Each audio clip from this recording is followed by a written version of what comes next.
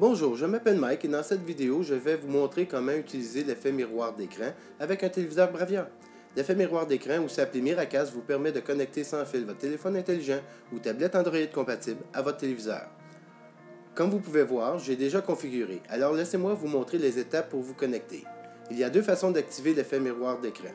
La première est en utilisant la télécommande OneFlick, qui est un accessoire optionnel pour la nouvelle gamme de téléviseurs 2014.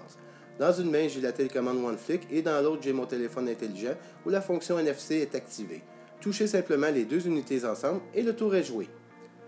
La deuxième façon est par réglage manuel de configuration. C'est très simple. D'abord, cliquez sur le bouton d'accueil, allez à Paramètres, Connectivité Xperia, mise en miroir de l'écran, activez la mise en mémoire de l'écran, appuyez sur OK.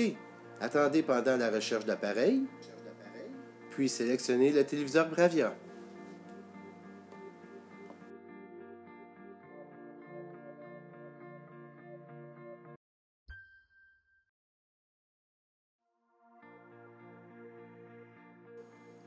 Bonjour, je m'appelle Michael et dans cette vidéo, je vais vous montrer comment utiliser MHL avec votre téléviseur Bravia.